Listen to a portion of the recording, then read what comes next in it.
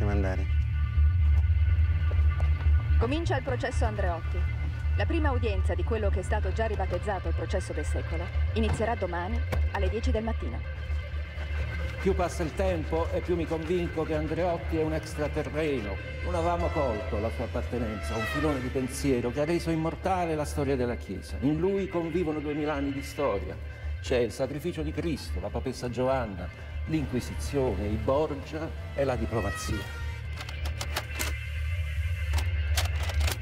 Non sono affatto stupito che Andreotti sia indicato come mandante del delitto Pecorelli.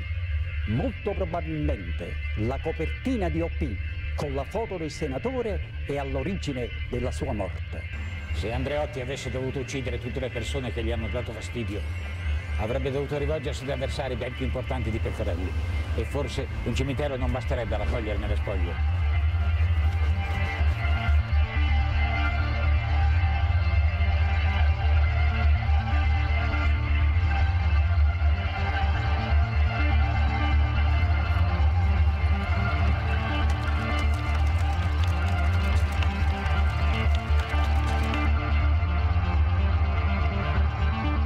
Quando si riflette su Andreotti viene in mente Talleyrand. Talleyrand, Torino, Ancona, Livorno, Livorno, Empoli, York, Roma, Ancona, Napoli, Domodossola, punto. Entrambi con un unico obiettivo, due punti, il potere, punto. Resta comunque la complessità del personaggio Andreotti, virgola, che ne fa anche, virgola, se così si può dire, virgola, la grandezza, punto. La grandezza dell'enigma, punto.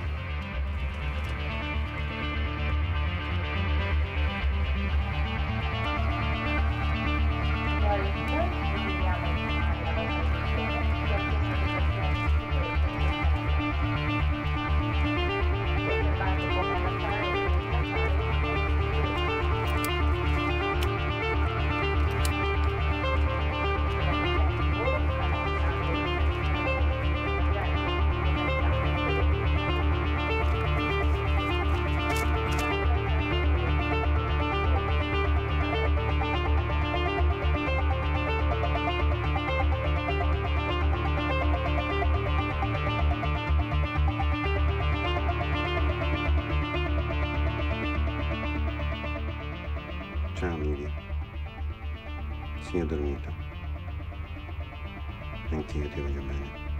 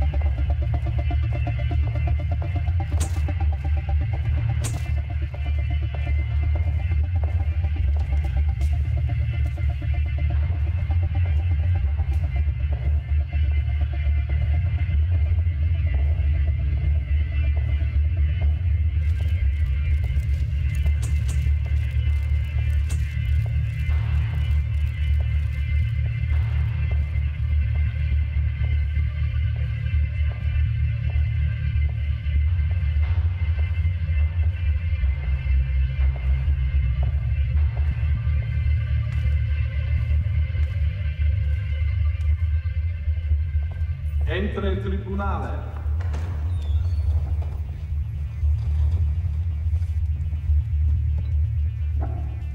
Seduti, procediamo alla costituzione delle parti. È presente l'imputato Giulio Andreotti? Prego, prego, stia comodo.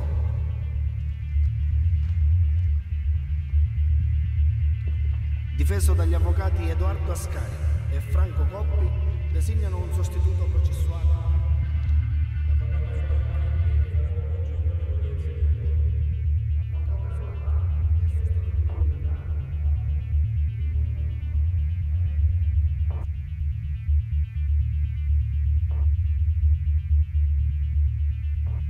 Andreotti era stato indifferente, livido, assente, chiuso nel suo cupo sogno di gloria.